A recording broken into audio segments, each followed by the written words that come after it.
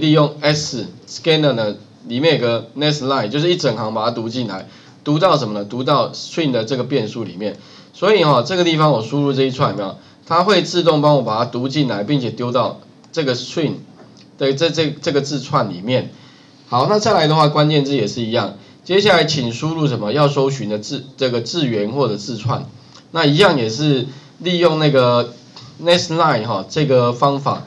取得什么呢？哎，r y，所以我输入 r y 之后的话，那这个 r y 呢会丢到哪里呢？会丢到这个 string 一里面去。所以基本上哈，我这边宣告了两个字字串的变数，一个是 str，这个指的是上面的啊这个字串，那下面这个 str one 呢，指的是要被收，就是关键字的意思啦。好，所以 str one 要就是我们要找的那。接下来的话哈，第二个部分，第一个是怎么样读进来？那我们把它用把把它用呃这个 scanner 的这个物件哈，这个这个 s 的物件呢，把它读进来之后的话，接下来就是说呢哈，我们要知道说，哎，这个 ry 在这个字串里面总共出现过几次？OK，那如果说的哈，我们要全部读取的话，可以用 do while 的回圈，do while 前面有用过，那条件跳离的回圈，do 的话是先先查。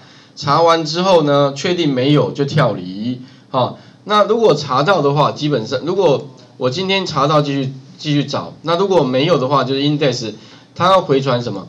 回传负一，也就是说呢，哈，我今天呢这个条件如果不是负一的话，它就继续查，但是如果今天没有找找不到资料的话，它就变成负一的，所以这边的话有个度回圈，那接下来的话呢，我们要怎么去在这个 str 就是说这个字串里面要找字的话啊，其实注意一下，就是说会有个方法，方法名称叫 index of。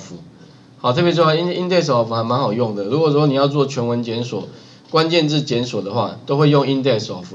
然后呢，我们要放两个资讯，一个是讯一关键字，第二个是什么？它的位置。那基本上的话呢，哈，我们预设会从第一个字开始，第一个字就零了，所以。B b 一这个是我们宣告的变数，不过这个 b 一的变数就是说，当我第一次我从零开始，可是我找到之后的话，我再把什么呢？找到的位置再加上什么？那个关键字的长度，哈，再加一往后面往后面继续找，也就是我找到之后的话，我还可以继续找，哈，所以这个地方的话，那另外各位如果说将来要了解 index of 方法了哈。其实游标放上去就可以知道，你会想说，哎，老师，那你怎么知道要传两个参数？其实在这个方法里面都有说明，这个方法名称叫 in，它是一个 string 类别里面的一个 index of 的方法。